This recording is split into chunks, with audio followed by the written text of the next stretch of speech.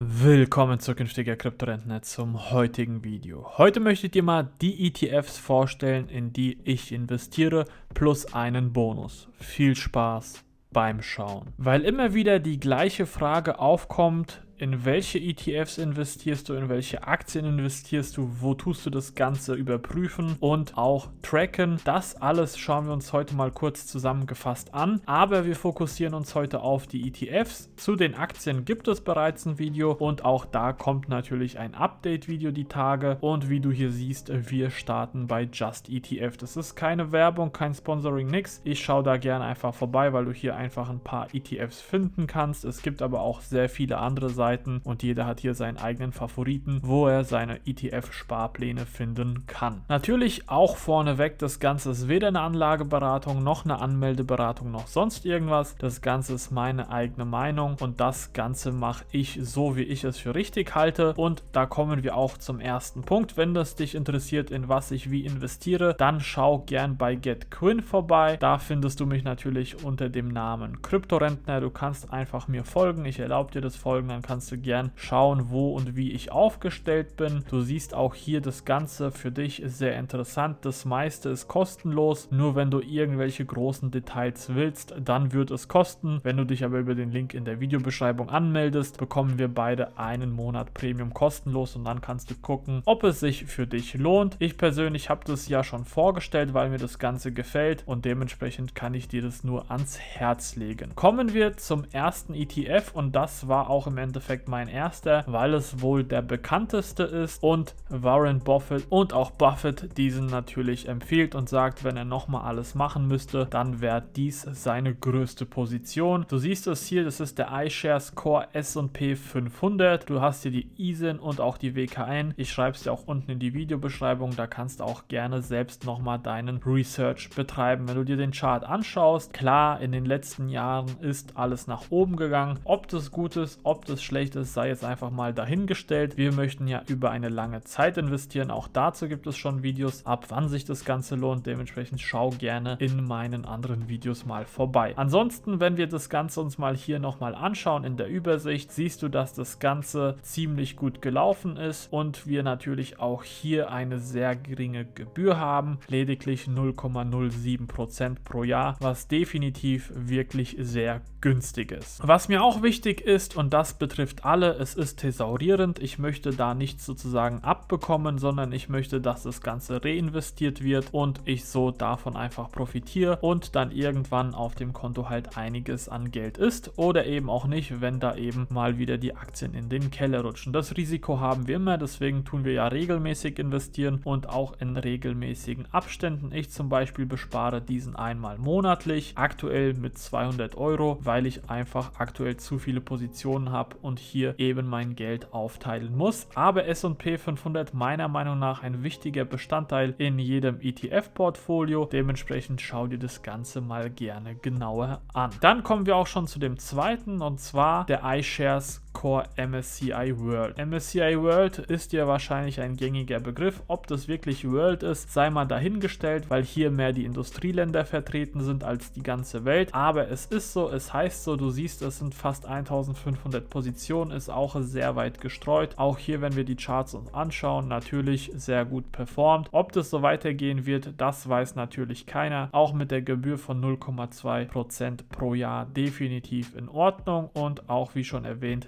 thesaurierend und wie du auch siehst, das Ganze ist schon ewig alt, dementsprechend auch ein sehr sicherer ETF. Ich möchte hier gar nicht so sehr in die Tiefe reingehen, weil man kann aus den ETFs wirklich einen riesen Fass aufmachen. Es gibt ziemlich viele ETFs von ziemlich vielen Anbietern mit ziemlich vielen unterschiedlichen Gebühren und Co. Ich habe jetzt für mich meiner Meinung nach nach meinen Kriterien die besten rausgesucht. Wenn dich meine Kriterien interessieren und du nochmal ein Vergleichsvideo oder irgendwas wissen oder haben möchtest, dann lass es mich gerne in den Kommentaren momentan wissen, dann kommt natürlich auch gern dazu noch ein Video. Diesen bespare ich aktuell nicht, den habe ich ausgesetzt, weil wie gesagt, ich einfach zu viel habe, zu viel experimentiere und mich rumschaue, aber diesen werde ich definitiv bei einem geeigneten Zeitpunkt wieder in mein Portfolio mit aufnehmen. Einige Grundbestände sind da auf jeden Fall vertreten und dann kommen wir zu einem, den habe ich einfach mal reingepackt, weil ich ihn persönlich sehr interessant finde und das ist der FTSE All World. Und zwar hat dieser über 3600 Positionen, ist dennoch recht günstig und das Schöne an der ganzen Geschichte ist, der ist wirklich weltweit verteilt. Da ist wirklich alles mit drinnen. Dieser hat wirklich dieses All World im Namen verdient und dementsprechend habe ich diesen in Verbindung mit meinen vermögenswirksamen Leistungen mir einfach mal zugelegt. Mit 0,22% definitiv nicht der günstigste, aber thesaurierend und wir möchten das Ganze natürlich einfach liegen lassen. Und mit diesen drei ETFs bist du definitiv gut abgesichert. Natürlich, vieles wird sich doppeln, weil einfach sehr viele Branchen, aber auch Firmen einfach wichtig sind und groß sind und die da einfach mit reinfallen. Für mich passt das Ganze aber so, wenn du mehr streuen willst und vielleicht irgendwie Nischenmärkte oder sonst irgendwas haben möchtest, dann musst du natürlich weiterschauen. Mir geht es hier wirklich um eine Art Backup, wo ich hingehe und sage, diese Dinge sind ziemlich sicher, da dürfte nicht viel passieren. Natürlich, wenn es einen Aktiencrash gibt, dann fallen die Aktien, dann kaufe ich günstig ein und dann pendelt sich das Ganze im besten Fall irgendwann mal wieder ein. Denn im Normalfall werden nicht alle Firmen pleite gehen, beziehungsweise hier das Ganze verlassen. Dementsprechend meiner Meinung nach doch recht sicher. Aber wie gesagt, das Ganze weder eine Anlageberatung noch eine Anmeldeberatung noch sonst irgendwas. Und zu der Frage, wo investiere ich in ETFs? Bei mir ist das Ganze Trade Republic. Ich brauche es dir nicht vorstellen, du kennst es. Auf das Geld, was du hast, gibt es 4%. Mit der Karte gibt es 1% Cashback. Den Link findest du natürlich unten in der Videobeschreibung. Aber ich stelle die Tage auch noch einen anderen Broker vor, wo ich zum Beispiel nutze. Jetzt kommen wir aber zu dem Bonus ETF und da gibt es einen ganz besonderen und zwar der Wisdom Tree Global Quality Dividend Grow. Da geht es um einen ETF, wie du hier lesen kannst, der sich im Endeffekt um Dividenden kümmert. Der ist recht klein mit 600 Positionen, aber von der Vorgröße definitiv nicht schlecht. Wenn wir uns den mal anschauen, er performt natürlich gut und da hast du eben den Vorteil, dass es sich um Dividendenaktien handelt und diese natürlich Dividenden ausschütten und du so im besten Fall davon profitierst. Aber auch hier natürlich thesaurierend, damit dein Investment weiter wächst und du dann im hohen Alter oder vielleicht auch früher, je nachdem wie deine Pläne aussehen, du eben einfach abgesichert bist. Finde ich persönlich sehr interessant, aber ich persönlich habe ihn seit kurzem erst im Auge, bin hier noch nicht investiert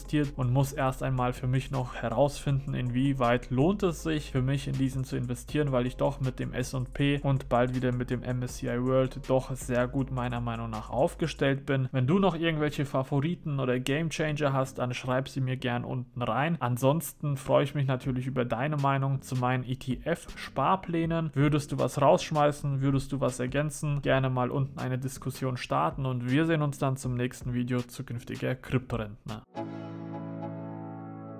Let's go. Yeah. I'm like an addict, do I gotta have it? I ain't even playing, got a really bad habit. If it moves, gotta grab it, fuse like a magnet. Lose, won't have it till I'm doomed in a casket.